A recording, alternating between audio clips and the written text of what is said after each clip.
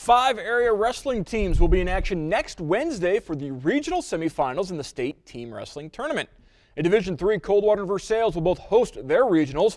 Ottawa-Glandorf will travel to Delta to take on Tinora, And in Division 2, Wapakoneta has the unenviable task of taking on a Graham local in St. Paris. OG and Coldwater both wrestling at this weekend's LCC Thunderbird Invitational. Action underway this evening. All six mats in action at Monsignor Hurd Gymnasium. Being 152 pounds, first round, Coldwater Seth Oberger taking on Dixie's Stephen Brown. Oberger up 2-0 in the first period would hold on to win 2-1. 170 pounds now. They're a freshman, St. John's Justin Wigging taking on Lincolnview's Grant Slusher. Wigging the first period pin for the Blue Jays. Same weight class, Liberty Benton's Chaz Van Zent facing New London's Joe Christoph. Van Sant with the first period pin for the Eagles.